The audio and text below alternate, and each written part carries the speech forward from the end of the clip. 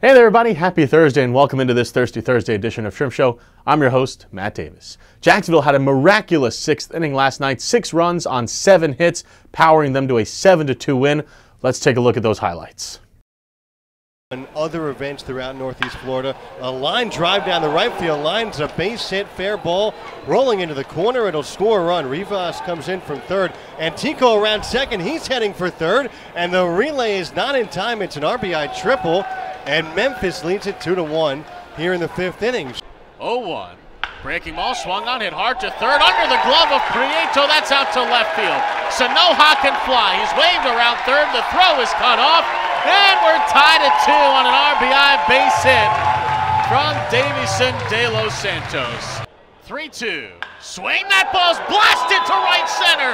Rivas and Antico, they're back at the track. He leaps and it's off the wall.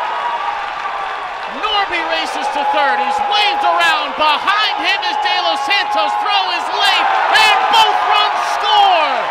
It's a two-run double for Tristan Gray, and Jacksonville has grabbed the lead here in the bottom of the seventh inning. Time, the 2-1 Banfield swings, bouncing ball hits a first. It's a fair ball and into the right field corner. Gray around third, he's in. Behind him, Ramirez.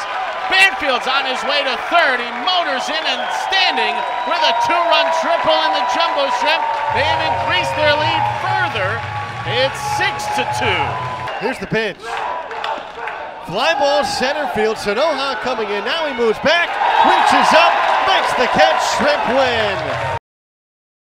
Tonight it's going to be a really great pitching matchup as Jacksonville hands the ball off to right-handed pitcher Adam Mazur, and he'll be taking on right-handed pitcher Gordon Graceffo for the Redbirds.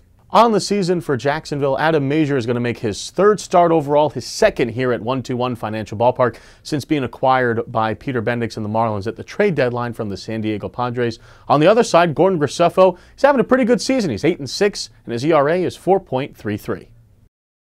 It's going to be another beautiful Thirsty Thursday here at 121 Financial Ballpark. Remember, we've got 2 and $3 beer specials at various locations around the ballpark. And as a special treat, we're going to be taking a look at all of these close sports highlights, but they just got away. And it's a solid reminder that every inch counts.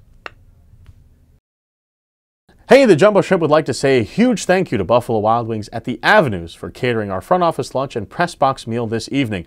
Buffalo Wild Wings is the best place to watch your favorite game or fight. With wall to wall TVs, you can count on almost any game to be on at any time. Buffalo Wild Wings has a great variety of beers and 26 sauces and dry rubs for their mouth-watering wings. There's something for everyone at B-Dubs. So head into a Buffalo Wild Wings to cheer on your favorite team or order takeout or delivery through Buffalo Wild Wings Go to watch at home. Buffalo Wild Wings. Let's go sports bar. Drink responsibly.